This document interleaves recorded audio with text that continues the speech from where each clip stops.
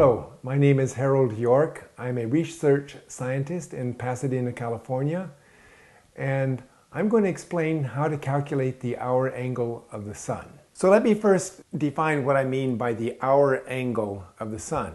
This is the angle that the Earth would have to rotate so that the sun appears to be at high noon.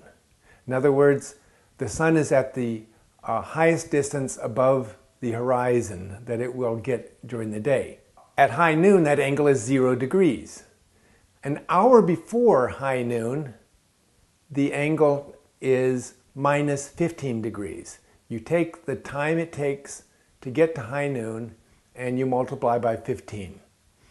Uh, at 1.30 of your uh, time, that would be an hour and a half times 15, and the angle is 22.5 degrees. Now, how do we get the local time to use in this equation? Because the time that your clock shows is uh, something different. The best way to do it is to have a sundial.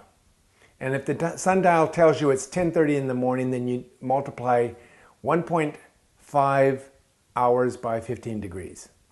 If you don't happen to have a sundial, then you will have to convert the clock time to the local solar time. And there's four steps. You first convert the clock time to something called universal time.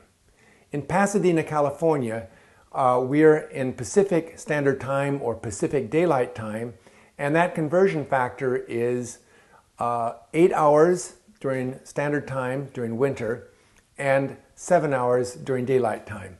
So I would have to take my time on the clock and add seven hours.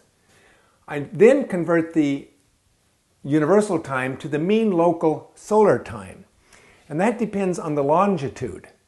Here in Pasadena, we're at a longitude of 118.14 degrees. So I divide 118.14 by 15 to get that correction. Then, this is only the mean solar time. The sun is not a very good clock. It sometimes speeds up and slows down during the course of the year. So we have to use something called the time equation to convert the mean local solar time to the local solar time. This is the time that a sundial would show.